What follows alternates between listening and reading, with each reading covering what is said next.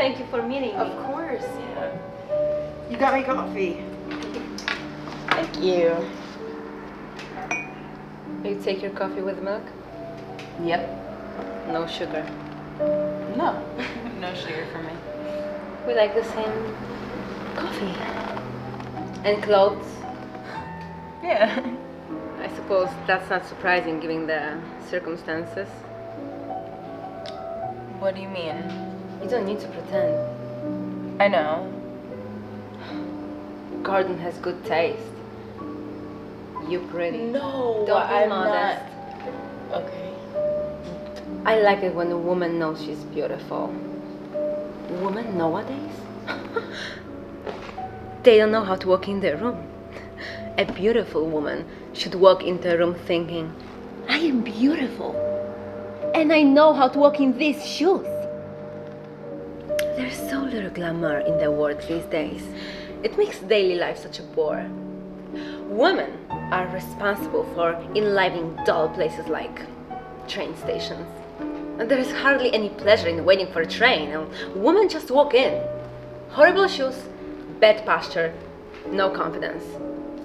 A woman should be able to take out her compact and put lipstick on her lips with absolute confidence. no apology.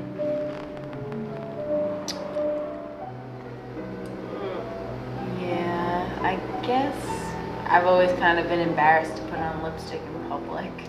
That's crap. Here. You have beautiful lips. Thank you. It's okay. I don't. I don't have a cold. It's not about the germs. I just. Put it on.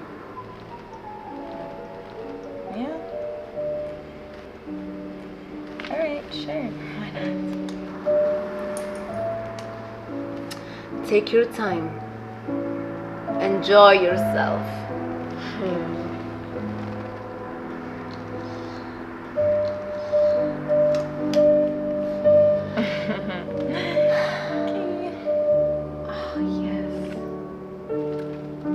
Very nice. Wow.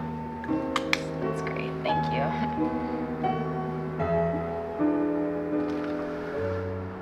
Thanks. That was disappointing. Oh well.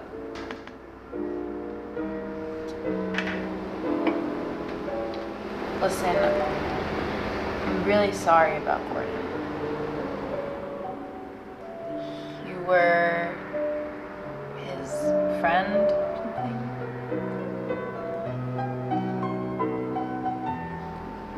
Gordon didn't tell you much, did he?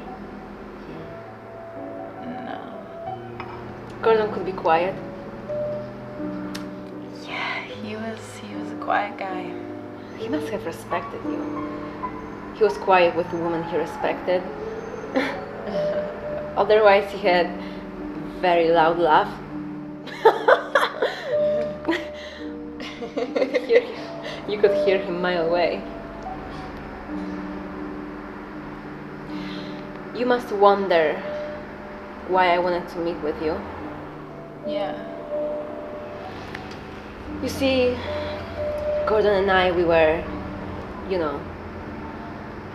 So I just want to know. I know it's going to sound sentimental, but I just want to know his last words. That's not sentimental. I hate sentiment. I really don't think that's sentimental. Like it's really not at all. So, his last words.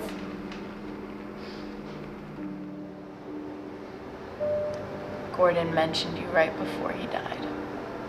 Well, he more than mentioned you actually. He told me to tell you that he loved you. And then he just turned his face away and died. He said he loved me.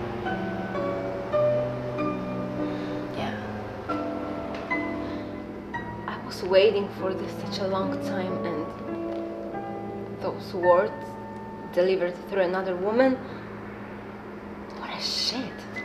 It wasn't like that. It wasn't like that, no. It was. He said he loved a lot of women in his life. but he said that when he met you, everything changed. Other women were like clocks, they just measured the time, you know? But you stopped time. He said you stopped time just by walking into a room. He said that? Uh huh. Yeah. Oh, Gordon.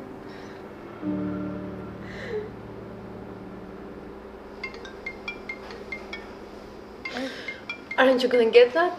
Yeah, of course. Hello? Hi. Yes. Okay, sure. hmm Yeah, I know exactly where that is. Okay. Okay. Alright, yeah, I could be there in like 45 minutes. Okay. I'll see you then. Bye now.